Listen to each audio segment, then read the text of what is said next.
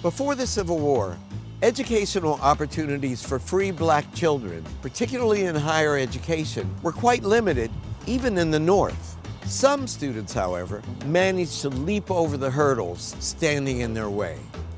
John Chavis, a free black man from North Carolina, was the first African American college student. Chavis studied as a private student under the president of the College of New Jersey, now known as Princeton University, and continued his studies at Liberty Hall Academy in Virginia. In 1862, Mary Jane Patterson became the first African American woman to receive a bachelor's degree when she graduated from Oberlin College. Patterson became a teacher and then the first black principal at the Preparatory School for Negroes, now known as Paul Laurence Dunbar High School. Before the Civil War, discrimination against black students led to the founding of the first black colleges in the North, including Wilberforce in Ohio and Lincoln and Cheyney universities in Pennsylvania.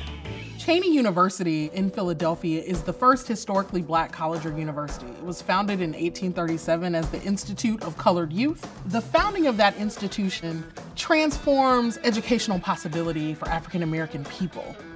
The era saw huge growth in the number of black colleges and universities, from Howard and Fisk to Hampton and Tuskegee.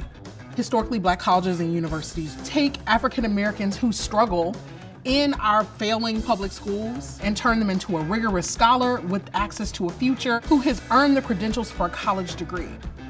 HBCUs arose as a direct response to racial discrimination, providing opportunities for black students to gain a higher education and enter the middle class. According to the New York Times, HBCUs make up only 3% of the colleges across the country. And yet, at least 50% of black doctors and 80% of black judges have graduated from their classes there remains a significant racial gap in degree attainment.